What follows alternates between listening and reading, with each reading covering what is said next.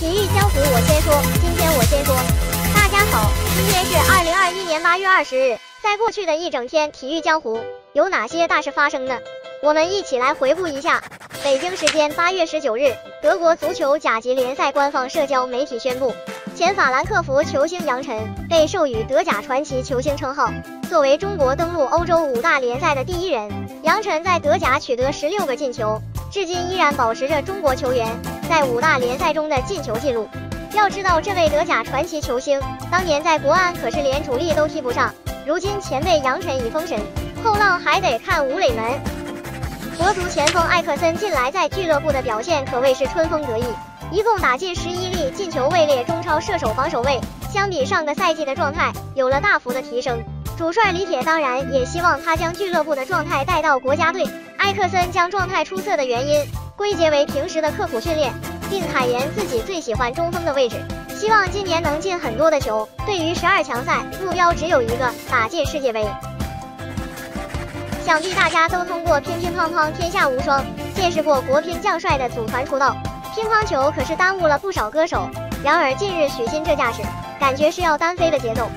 快乐在城市上空飘扬。让我暖洋洋。你的旧皮鞋还能穿吗？你不想尝尝吗？歌唱的好不好，咱不敢说，可这造型是真心醉人。北京时间八月十九日，欧足联官方公布了年度最佳教练和最佳球员最终候选，瓜迪奥拉、曼奇尼、图赫尔入围最佳教练三人候选名单，而德布劳内。坎特若日尼奥则入围最佳球员三人候选名单，绝代双骄梅西、C 罗再度无缘欧足联年度最佳。上届最佳教练和最佳球员分别是弗里克和莱万多夫斯基，而本次欧足联年度最佳教练和球员将于当地时间八月二十六日，在伊斯坦布尔举行的欧冠小组赛抽签仪式上揭晓。Daily Up 看热搜，先说你的观点。大家好，我是江湖 UP 主。今日热搜：国乒队比心有多好笑？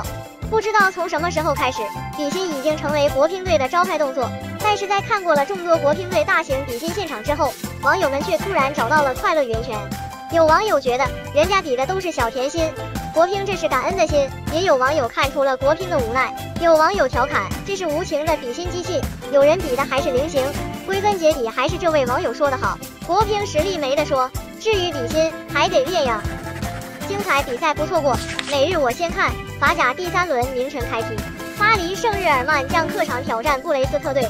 尽管梅西仍未确定是否在这场比赛中出战，但本场比赛的球票价格已经炒到了其他比赛最贵票价的两倍，并且早已销售一空。看来不仅是大巴黎的球迷，就连布雷斯特的球迷都希望能够在主场近距离一睹球王风采。梅西的票房号召力还真是惊人呀！体育江湖新鲜事，天天我先说，今天就到这里吧。